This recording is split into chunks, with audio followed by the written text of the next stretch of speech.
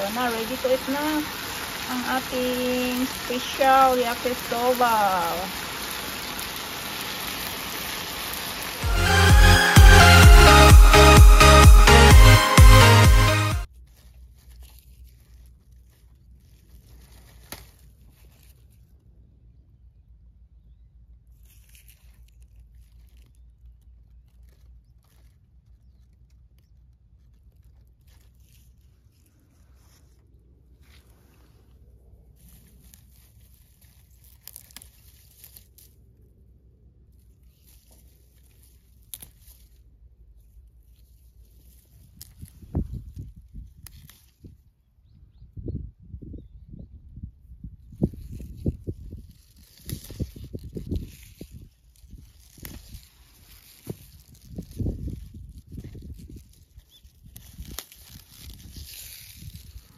So, magluto tayo ngayon ng yakisoba. Japanese yakisoba or Japanese pancit canton. Ayan na siya, yakisoba.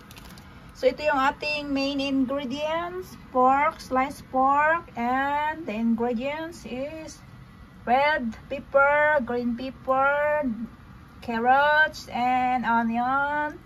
And there have uh, cabbage and mushrooms. So, Very simple cooking lang ito dahil hindi ako professional chief. Ayan.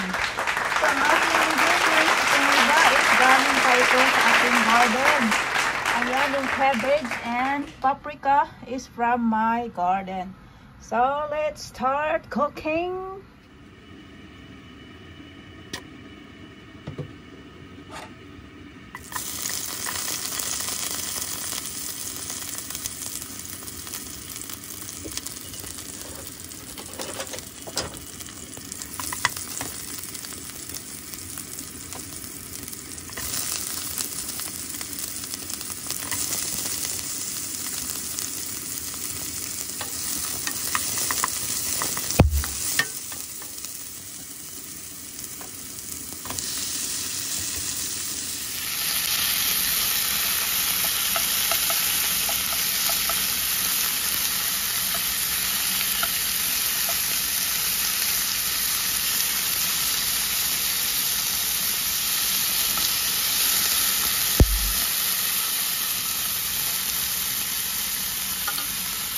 Hindi na natin masyadong gaanong kailangan ng mga soy sauce, mga sauce, kasi complete ingredients na yung loob ng sauce na to.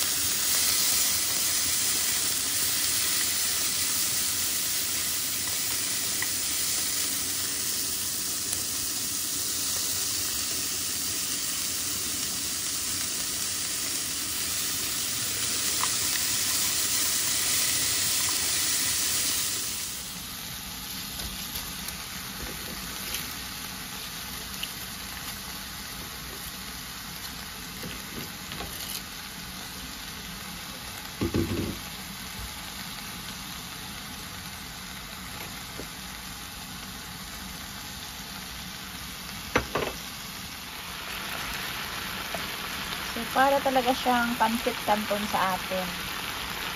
Lagyan natin muna ng konting tubig, mainit na tubig. Tapos, lagyan natin ang pancit. Hmm. Mahirap magluto kasi yung isang kamay na hawak ang kamera, yung isang kamay is nagtrabaho. So, ayan. Ilagay na natin ang noodles.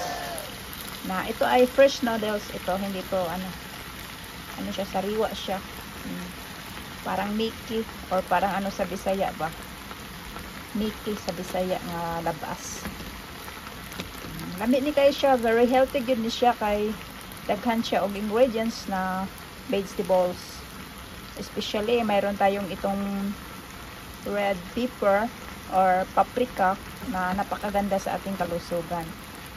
So, halu-haluin lang yan. Tapos, at the end, lagyan din natin ng uh, celery. Itong celery is maganda ito sa ating kalusugan. Ilagay ito sa end. Tapos napakabango ito sa ating pansit. So pagka lagay na yan is ilagay natin yung sauce. Ayan siya. So hindi ako sanay magluto ng ganito madami. Sanay ako magluto sa pang isang tao lang. Ngayon, marami ang niluto ko kasi good for 3 days ito. Charot. Sama na ang sauce niya. Complete na yan siya. Complete na siya ang kanyang taste. Lahat mayroon na siyang ingredient, ano dyan, timpla. Kaya kahit yung sauce is okay lang. Nag-add lang ako ng konting salt and pepper at saka konting ajinomoto. Na. So, very easy at very simple and quick. Napakabilis nitong lutuin dahil ano na siya, yung gulay lang ang lutuin mo. Ito half cook, naka half cook na siyang pagka uh, first na noodles. So, this is it. Oh, very easy. Luto na. Ganyan lang ka-simple. Tapos, lagyan natin ng celery. Ay, nasunog pa yung celery. Kana, para mabango siya. So, gawin niyo ito para super bango at super healthy ang inyong yakisoba. Ayan. So, diba?